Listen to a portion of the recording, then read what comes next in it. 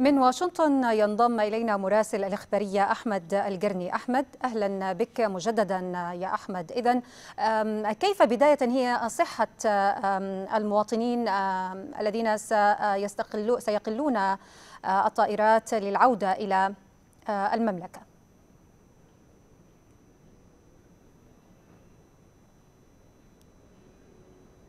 مرحبا بك إيمان مجددا في الحقيقة هي مشاعر مختلطة ما بين كبير السن قد قطعت به السبل وهو يعني ينتظر بكل لهف أن يعود إلى أحبابه وأبنائه وما بين مبتعث تخرج ولكنه عاش يعني لحظات فرحته بشكل يتيم لايضا ينتظر اللحظة المبهجة الذي يشارك فيها ويشاطر فيها أهله ومحبيه وذوي هذه الفرحة. الإجراءات هي على على ما يرام حتى الآن هناك اليوم 200 طالب 200 عفوا مواطن ومواطنه بإذن الله سينطلقون إن شاء الله بعد ساعتين من الآن في خطة إجرائية تتبناها سفارة خادم الحرمين الشريفين في واشنطن. أستأذنك وأستأذن السادة المشاهدين جميعا الآن أن يكون معي نائب رئيس البعثة في سفارة المملكة في واشنطن الأستاذ سامر الخراشي ليطلعنا على أبرز الخطوات التي قدمتها السفارة حتى الآن. مرحبا بك أستاذ سامر. أهلا وسهلا حياك الله الله يحفظك. في ظل توجيهات القيادة الحكيمة حفظها الله وبمتابعة من سمو السفيرة قامت السفارة من يوم 15 مارس باستضافة المواطنين السعوديين العالقين في أمريكا وقامت كذلك القنصليات العامة في أمريكا باستضافة المواطنين في الفنادق وقدمت لهم كل ما يحتاجونه من رعاية ووفرت لهم سبل الراحة. والحمد لله اليوم بدأت أولى طليعة هذه الرحلات لإعادة المواطنين الذين علقوا في الولايات المتحدة الأمريكية. وخلال هذه الفترة كانت الحكومة المملكة توفر لهم سبل الراحة وتوفر الإمكانيات الصحية لاستقبالهم بطريقة آمنة وتوفير أماكن الحجر الصحي لهم وتوفير هذه الأماكن لهم ليكون رحلتهم إلى المملكة كلها أمان. الحمد لله بتعاون من الخطوط السعودية تتم أولى عمليات ورحلات الإجلاء بسلاسة.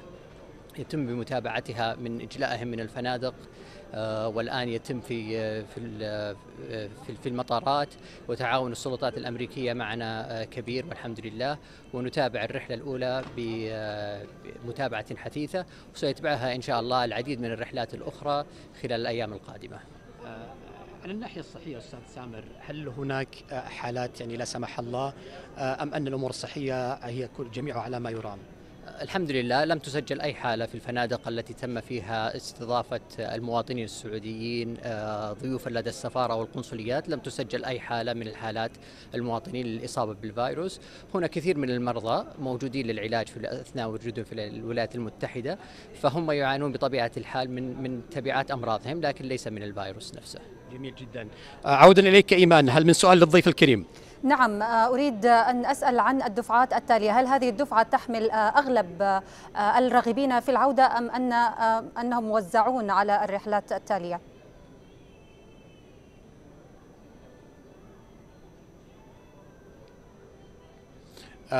السؤال الذي تفضلت به المذيعة العائدون هذا اليوم. هل جميعهم هم من يرغب العودة بالوطن؟ وهل هناك إجراءات أخرى؟ للبقية. نعم.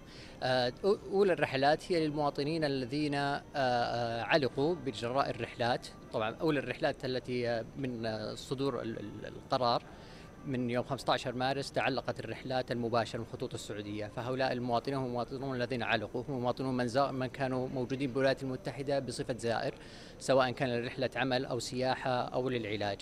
فأولى الرحلات هذه مخصصة لهم. فسوف يتم إعادة المواطنين من تواجدوا في الولايات المتحدة بصفة عالقين. بعد ما ينتهي هذه الرحلات سوف نبدأ بالمواطنين الراغبين بالعودة للمملكة سواء كانوا مواطنين طلبة أو مقيمين في الولايات المتحدة.